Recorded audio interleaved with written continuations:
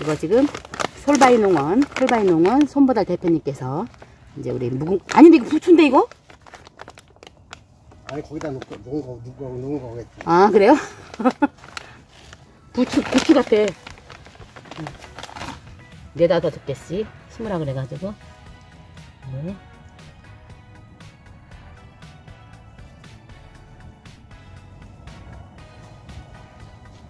이거 이렇게 심고 위에다 덮어야 돼요? 응.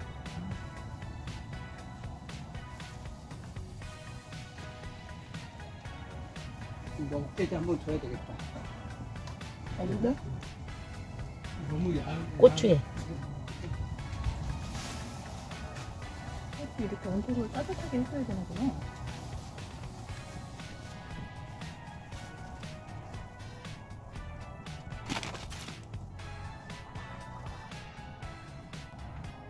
장갑기 부르고 잘 넣어야지. 빨리인데요.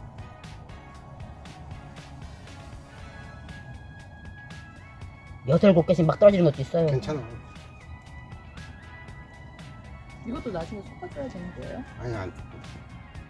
아 그냥 하나씩 그냥 심으면 돼요? 뽀뽀 뽀뽀. 예스.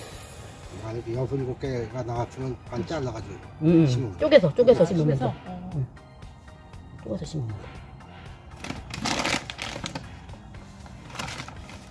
하나 서면 들어가지 마. 응? 하나 서면 들어가지 마. 그러면 하나만 챙겨놔야 하면 되지 않아? 미안하잖아.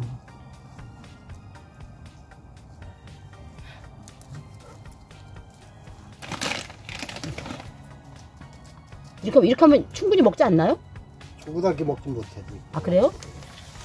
나뭐 열몇 개 그것도 얘를 열몇 개 했어요? 왜? 하면 잘하면 또 무슨 뒤에 그래지. 100개가 넘어. 이 정도면 먹어. 이 정도면 충분히 먹어. 그, 저기 대표님 하나만 더 줘봐. 달 넘으면 이만큼 자라요? 음. 그럼 이거 그러면 얼마나 더 두달 있다? 정도는 키워야 돼. 조금. 아 여기 여기 여기 포토에서 두 달 정도 키워가지고 옮겨가는 거예요 밭으로? 네. 아 그렇구나. 지금 심어도 안 늦나요? 뭐 심는 시기가 있기 때문에 뭐 굳이 뭐아 대파 같은 경우는 1년 키우는 거같 그러니까 아 그렇구나. 한 달 지난 거 얼마큼 컸나? 아 이만큼 컸네요. 한 달 지난 거. 아 네.